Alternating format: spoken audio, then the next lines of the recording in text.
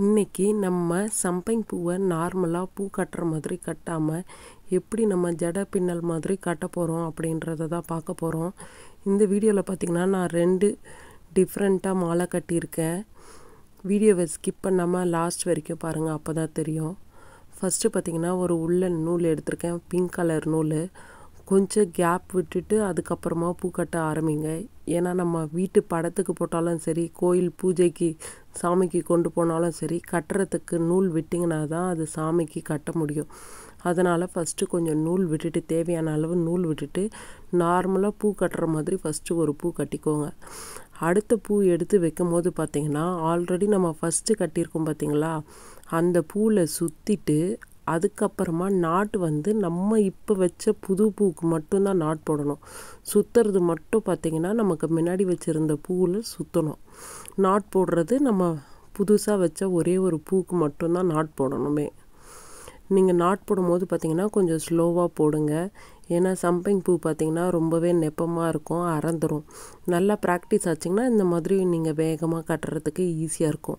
இப்போ தான் நீங்கள் கட்ட போகிறீங்க ஸ்டார்ட் பண்ணுறீங்க புதுசாக அப்படின்னா ஸ்லோவாகவே ப்ராக்டிஸ் பண்ணுங்கள் ரொம்பவே ஈஸியாக இருக்கும்.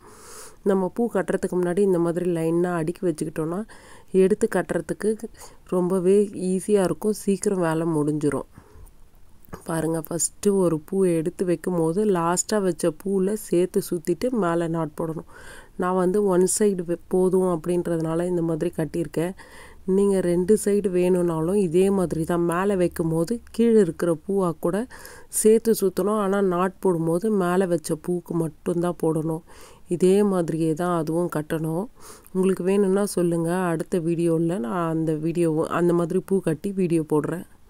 இப்போ பாருங்கள் அந்த பின்னல் இதுவும் நல்லா தெரியுதுங்களா? உங்களுக்கு சூப்பராக ஈவனாக இருக்கணும். நீங்கள் வச்சு பூ கட்டும் போது ஏறத்தாழெல்லாம் மேலே கீழே அந்த மாதிரிலாம் இருக்கக்கூடாது. பூ வச்சு அந்த நாட் போடும்போது ஈவனாக போடுங்க. அப்போ தான் பார்க்குறதுக்கு அழகாக இருக்கும்.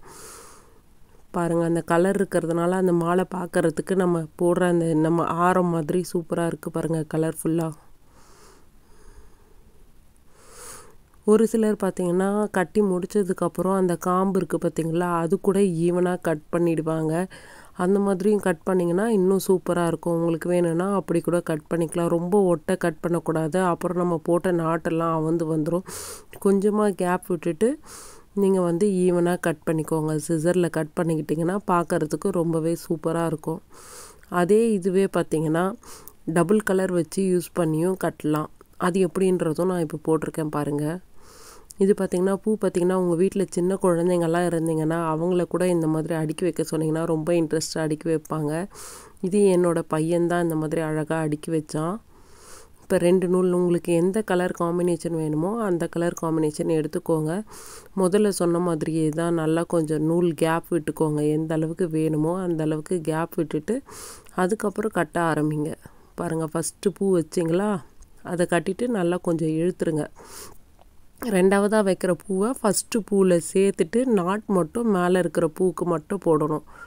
இப்போ அந்த நம்ம நாட் போடுறது பார்த்திங்கன்னா ஒரே ஈவனாக வரணும். கொஞ்சம் மேலே இருந்துச்சுன்னா அந்த த்ரெட்டை நீங்கள் கொஞ்சம் கீழே இறக்கிக்கோங்க. கையால் நகர்த்தினீங்கனாலே வந்துடும் அப்போ தான் அது பார்க்குறதுக்கு மாலை பார்க்கும்போது லாஸ்ட் ஃபினிஷிங் பார்த்திங்கன்னா ஒரே ஈவனாக இருக்கும். இல்லைனா மேலே கீழே மேலே கீழே இருந்துச்சுன்னா அது பார்க்க நல்லா இருக்காது. அந்த ப்ளூ கலர் த்ரெட்டு பார்த்திங்கன்னா நாட் போட்டிருக்கு அதில். அதனால தான் நான் கொஞ்சம் ஸ்லோவாக அங்கே சிக்குது. உங்களுக்கு பார்க்கும் போதே தெரியும். அங்கே பார்த்தீங்கன்னா நான் நூலை அறந்து அது முடி போட்டு அதுலேயே அப்படியே கட்டிட்டு வந்ததுனால அந்த இடத்துல கொஞ்சம் சிக்குச்சு. இப்போ அந்த நாட்டு முடிஞ்சதுக்கப்புறம் பாருங்கள் எவ்வளோ ஈஸியாக டக்கு டக்குன்னு கட்டிட்டு போயிட்டே இருக்கலான்னுட்டு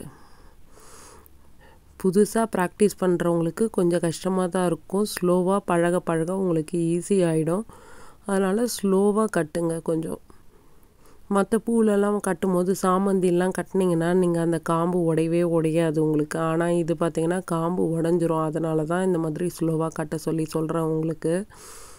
உங்களுக்கு வேணுன்ற கலரை சூஸ் பண்ணி எந்த லென்த்து வேணுமோ அந்த அளவுக்கு நீங்கள் மாலை கட்டிக்கோங்க. இப்போ பாருங்கள் ஃபினிஷ் பண்ணதுக்கப்புறம் எவ்வளோ சூப்பராக இருக்குன்னுட்டு. நான் வந்து கோயிலுக்காக தான் இந்த மாதிரி நான் மாலை கட்டியிருக்கேன். நான் லாஸ்ட்டாக உங்களுக்கு பிக்சர் கூட போட்டிருக்கேன். கோயிலில் போட்டதுக்கப்புறம் எப்படி இருந்தது அப்படின்னு சொல்லிட்டு. பார்க்கறதுக்கு பாருங்கள் பின்னல் எப்படி ஒரே ஈவனாக இருக்குன்றது.